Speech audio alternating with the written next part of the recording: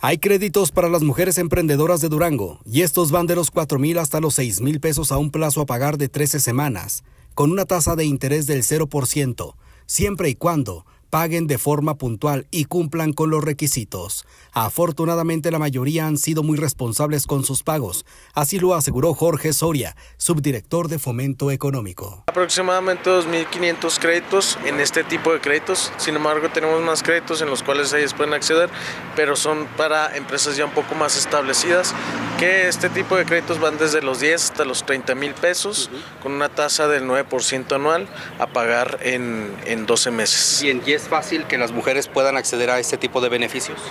Sí, claro, es muy fácil. Mira, para el primer crédito que te comento, el que no, el, desde los 4.500 hasta los 6.000 pesos, los requisitos es juntar un grupo de mujeres, de mínimo 12 mujeres.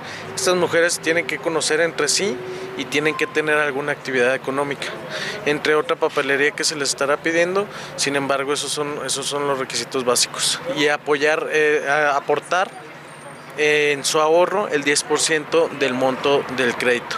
Es decir, si ellas acceden a un crédito de 6 mil pesos, aportan en ahorro 600 pesos pero este ahorro se les devuelve al final, o sea, es un ahorro que es para ellas. Mujeres que estén interesadas en adquirir uno de estos beneficios pueden acudir a la unidad administrativa o a la Dirección de Fomento Económico y Turismo.